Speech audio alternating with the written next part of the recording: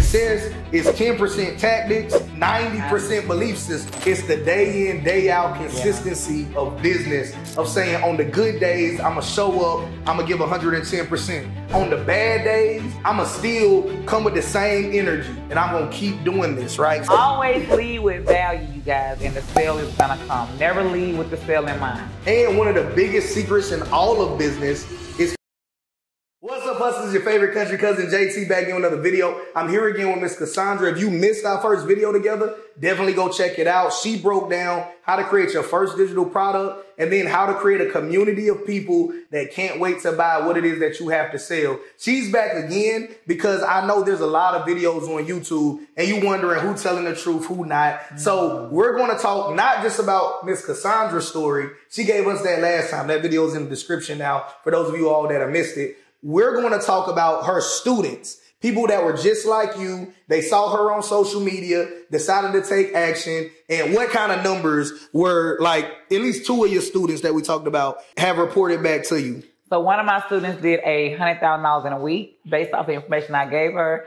And then another student did thirty-one thousand dollars in a day. All right, so these are real dollars, U.S. Real dollars, dollars, United States dollars, right? So imagine if you can create, and not even imagine like it's not possible, but just imagine if you can learn a skill and then consistently apply that skill and replicate this success and greater because anytime you hear some numbers from people, what I want you to start thinking about is, hey, this is not the ceiling of what I can do. This is just one of the milestones. It might be the floor for you, right? It might be midway point for you, but regular human beings just like you, because you'll watch YouTube and be like, she got a bunch of followers, you got a bunch of followers. Yeah. I only got 12 people that follow me online. I can't do it. Well, you can. Getting into it though, right? So at what point in time did you decide, hey, I want to teach other people what it is that I know how to do?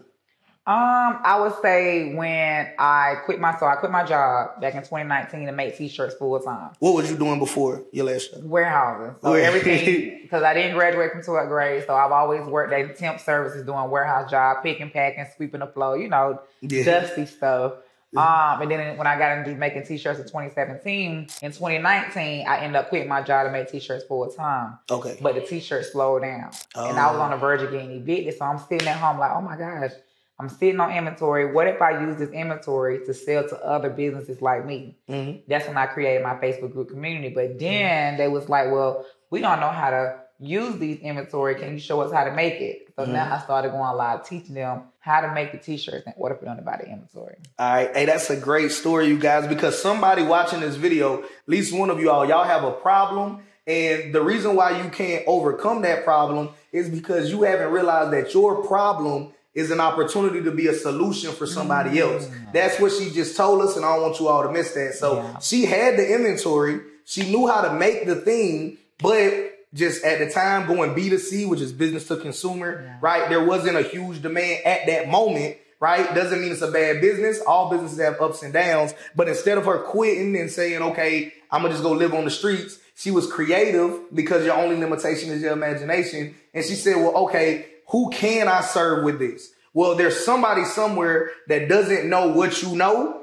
And she was able to leverage that and say, okay, I'm going to go share what I know with somebody that doesn't know what I know so that way they can have a better life as well. All right. So, okay, going a little bit deeper than that, tell me about if you can remember way back when, has it always been easy for you to build a community like no. day one, thousands of people? Oh, no.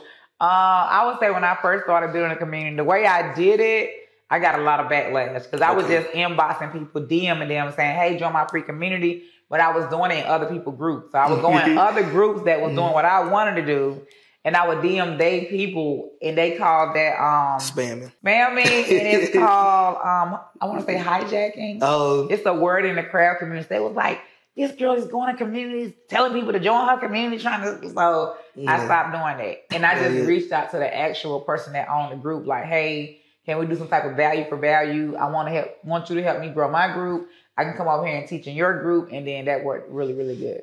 All right. Yeah. All right. So that's one way that you can start growing your own community out there. For anybody that's curious to know, okay, I have no idea where to start because you're hearing people talk about free communities, paid communities, building an audience of people that would love to buy whatever it is that you would love to sell. But you like, I don't know where to start. It's so many different social media platforms. Should I start a YouTube channel? Should I start an email list? Should I start a podcast, Instagram, Pinterest?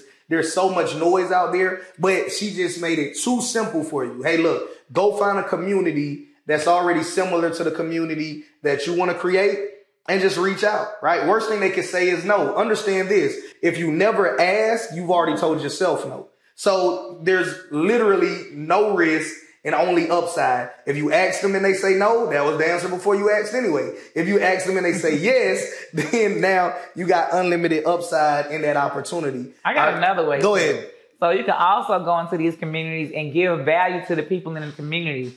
So say for instance, somebody say, oh my gosh, I need help making this t-shirt. I'm always messing up. You can go come in and say, well, this is what worked for me, giving free value.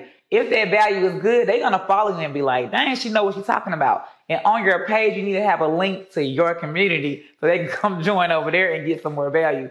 That worked really good for me too. All right. Hey, you guys, hey, save this video. If you somewhere that you can take notes, take notes. But if you can't, save this video, right? Community is so important because I want you to understand. I'm going to say this fast, but you can rewatch this video infinitely, right? So by building your own community, you really are insulating yourself from future unknown dangers. What I mean is that, is that typically how do we, you know, market businesses, paid advertisements? Probably seen an ad in this video you're watching now. Probably gonna see ads all up and down all of your timelines, right? Well, the problem with that is that ad costs are going to go up every single year. Yeah. Just supply and demand. If you say, hey, I want to target a million people a month this month, five years from now to target those exact same million people a month will cost way more than whatever you're spending now to reach the same number of people. What if you had your own community of people and built that up to a million people or whatever you want to build it up to? And now next time you have the next product the next service, the next information, say, hey, you guys, here's my newest, whatever it is that you provide.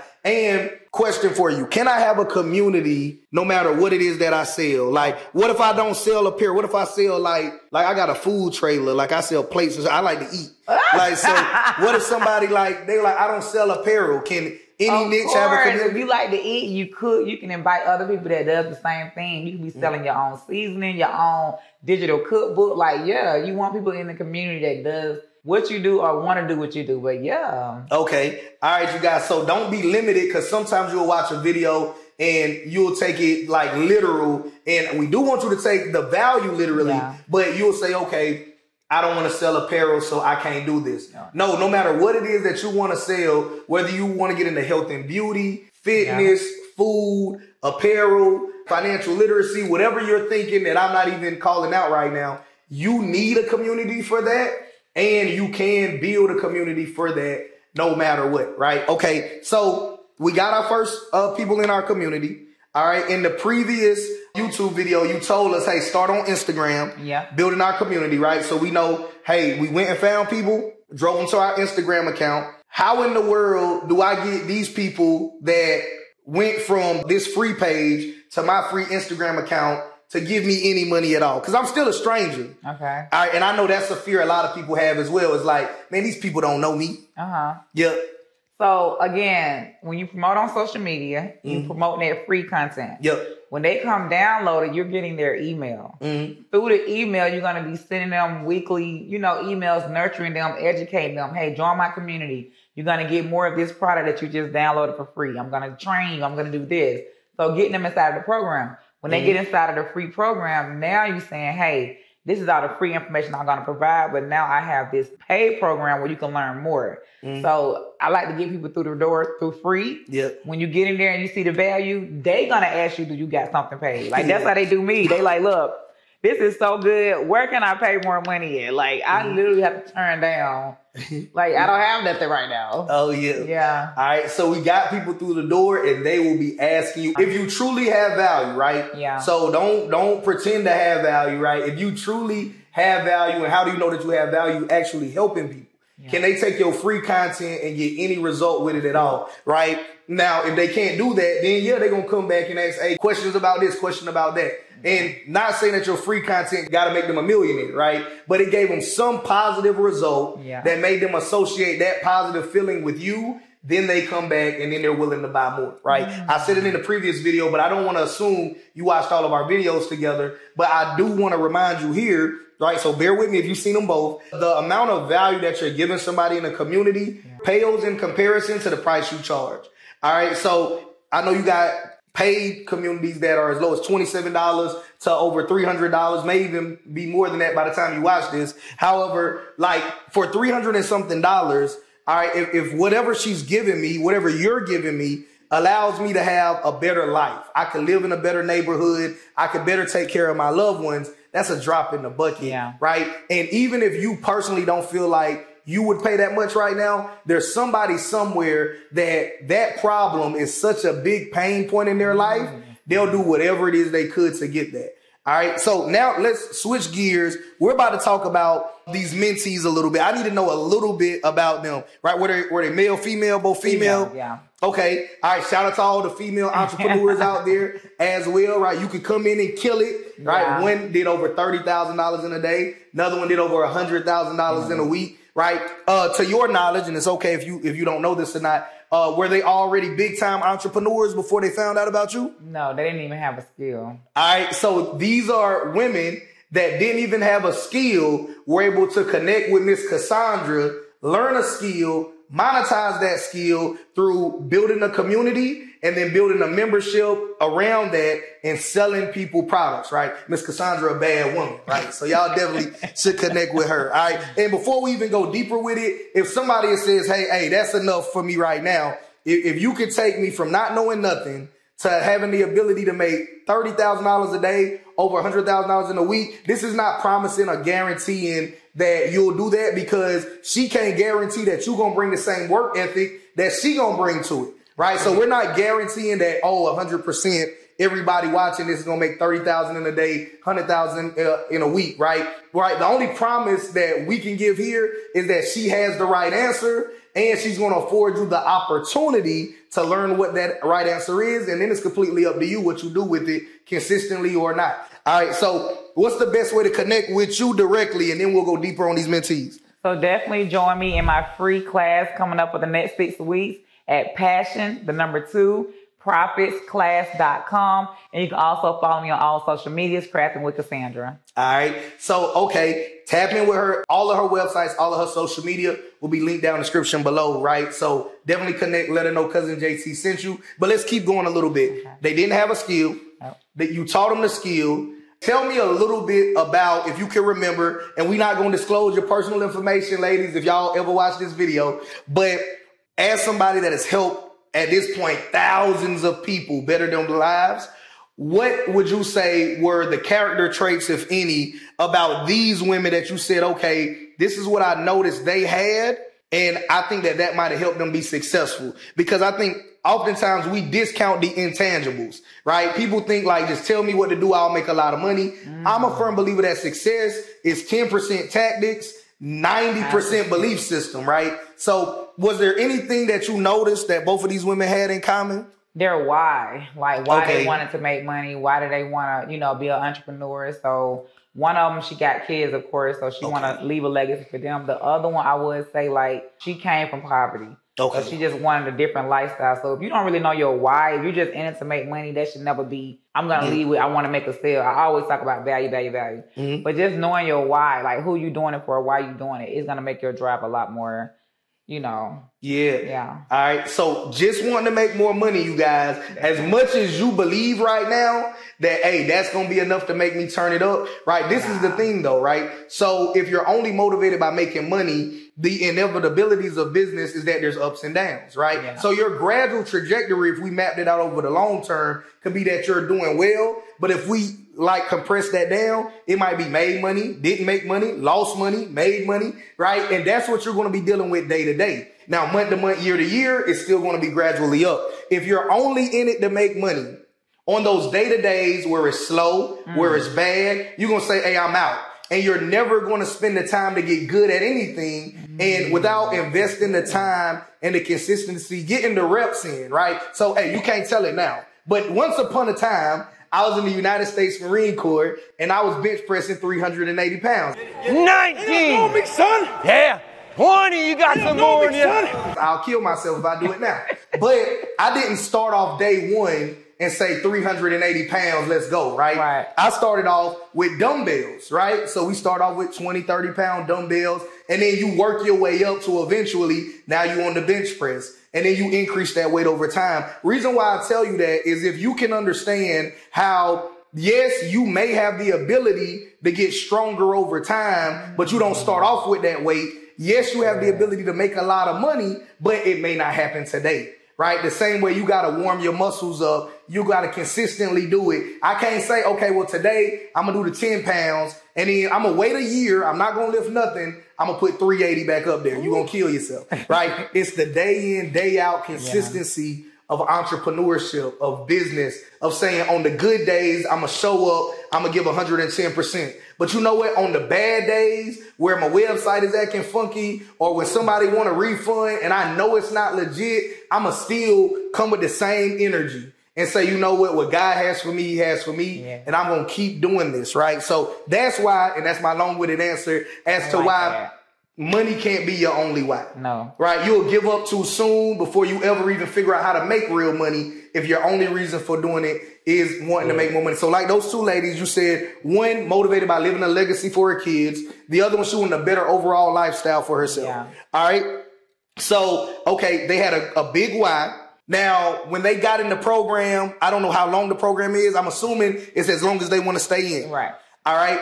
Were these women, and of course, if, I know this might have been a while back, so you don't got to remember all the details. Were these women action takers immediately, or do you think that they stayed in it six, eight, 12 months before they did something? Um, they was it was immediately because all they right. came in with that why. So yep. I'm, I'm coming into this to learn this because of this. So it was definitely action takers immediately. All right. And the reason why that's super valuable, you guys, is I want you to understand that there's a concept known as immediate imperfect action.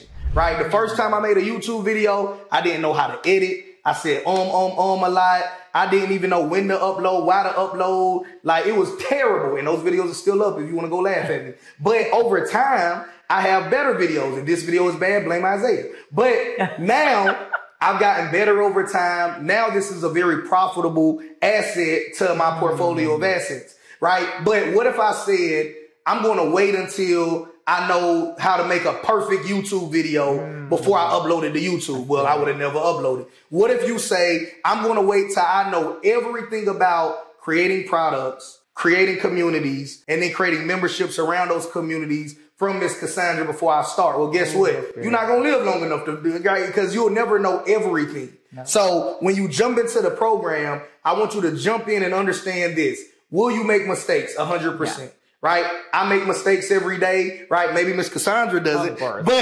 but yeah.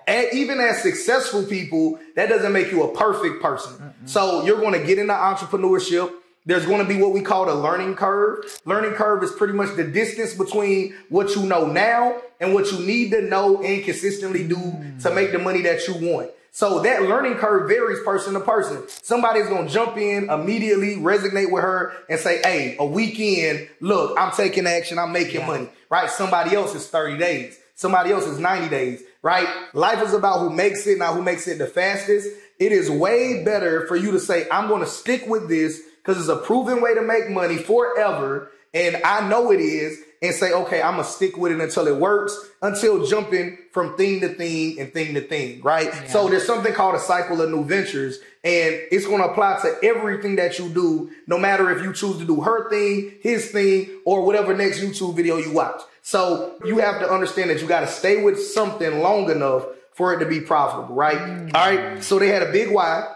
They took immediate, imperfect action. Were they scared? Do you think that they were scared? Shoot, yeah. All right.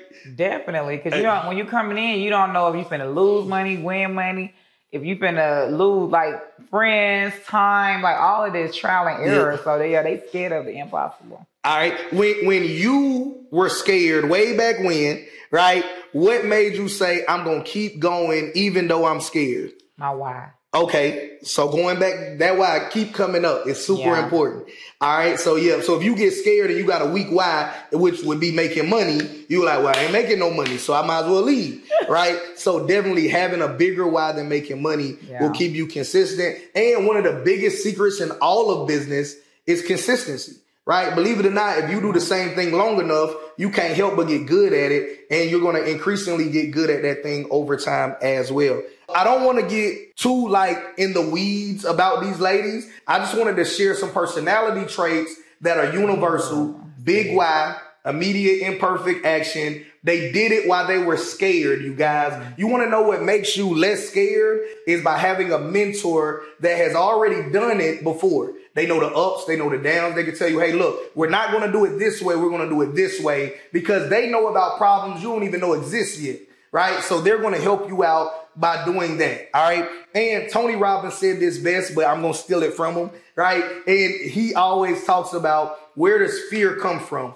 Fear comes from a lack of knowledge, right? I'm from the country. I grew up afraid of dogs and afraid of snakes, right? Now I don't have no pet snakes, but I got some dogs now and they massive. They like 200 and something pound dogs, right? Ooh. Now, what changed between me being a child that would have run away from the smallest dog ever to now having dogs that are like big as grown men was my understanding of that, right? So understand this, whether it's dogs, snakes, or business, anything in life you're afraid of, it comes from a lack of knowledge. So you don't say, hey, look, I'm never going to do this business because I'm afraid of it. You say, okay, I recognize that really, if I pull back the cover and say, why am I truly afraid to start this business? Mm-hmm. Why am I truly afraid to connect with Miss Cassandra? consistently do what she tells me to do until I get the result that I want in my life, it's going to come from some level of fear. And that fear comes from you not fully understanding that this works, mm-hmm. right? If I told you guys, cause your belief system is super important, right? If I told you guys, hey, look, I came to your backyard. I dug a hole. I buried a million dollars in your backyard. If you believe me, you wouldn't even be watching this video no more, right? But most people are still watching it. And it's because your belief system is that didn't really happen. What I want you to understand is that you have to adopt that belief system that, hey, even though I'm afraid of it, I know this is proven. Miss Cassandra has testimonies. We just gave you two for the sake of time, but there's many men and women that join her community and are getting results. And I challenge you to be the next one that, you know, gets whatever you want out of life by creating a product. Even if you don't know what that product is, she'll help you figure it out. Yeah. Once you create that product, how do you build an audience of people that can't wait to sell whatever it is that you want to sell them? And then monetize that in various ways, right? All of the relevant links are down in description below. Anything else you want to share to people before we get out of here? I love that. You you're yeah. good at this, but always lead with value, you guys, and the sale is gonna come. Never lead with the sale in mind. Lead with value, give that value first, and the sale is gonna always come. All right, there you have it, you guys. Connect with Miss Cassandra. Click those links down below. Till next time, so I must stay hustling. JT Automation, I'm going.